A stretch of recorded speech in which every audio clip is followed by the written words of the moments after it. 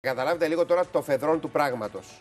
Μιλάμε όλοι μισό χρόνο για μια εκπομπή που δεν την έχουμε δει και που πολύ πιθανόν να μην τη δούμε και ποτέ. Και ποιος μπαίνει Και και κάθε ποιος βγαίνει. εβδομάδα βάζουμε μια σύνθεση εκπομπής που δεν την έχουμε δει.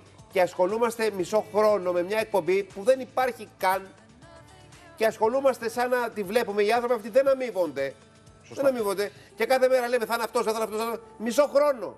Με μια εκπομπή φάντασμα. Γίνονται και ασχολούμαστε όμως, Γιώργο, όλοι, όλες τι εκπομπές. Αυτό είναι ανομαλία. Ασχολούμαστε όλες τι εκπομπές μισό χρόνο με μια εκπομπή φάντασμα. Εδώ μιλάμε για κανονική ανομαλία δηλαδή.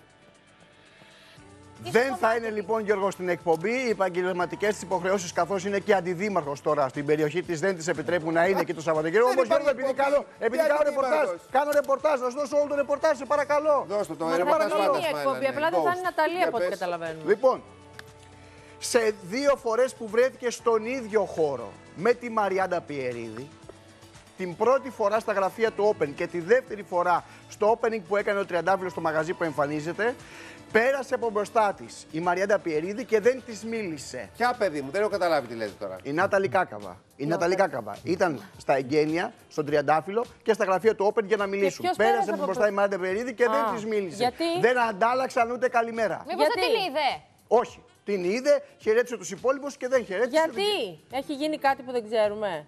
Ε, Δεν ήθελε η Μαριάντα να πάει να τα λύσει την εκπομπή. Αυτό είναι Ε, το Μια εκπομπή που δεν υπάρχει όμως. Δηλαδή, εντάξει, τσακώνονται για μια εκπομπή που δεν υπάρχει. Δεν μιλάνε για μια εκπομπή που Δηλώνουν δεν ότι υπάρχει. Και έχουν πιθανότερο να μην πολύ υπάρξει σχέσεις ποτέ. όμως. Αλλά όλοι εμείς τη λέμε και ασχολούμαστε με μια εκπομπή που δεν υπάρχει.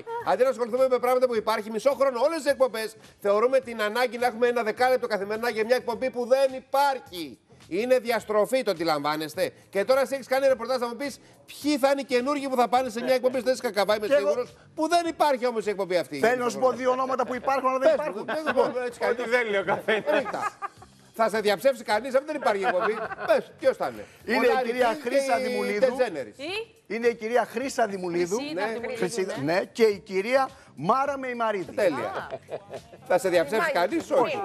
Μπράβο. Εγώ βάζω και το Λάρι Κίνγκ και την Ντετζένερη. Θα έχουν ενότητα στην εκπομπή εννοείς, Και την φαντάζομαι. όπρα έφυγε πρόπερση. Η όπρα ελεύθερη είναι. Ναι, ναι. Και η όπρα.